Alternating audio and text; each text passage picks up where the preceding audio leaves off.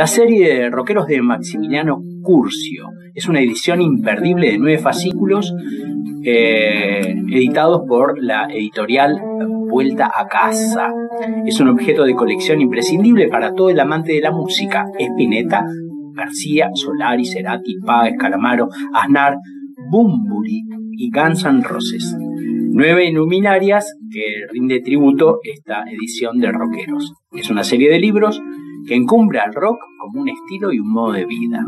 En su primera edición reúne miradas y valoraciones que colocan en justa importancia el legado de nueve figuras esenciales del rock and roll, tanto a nivel internacional como nacional.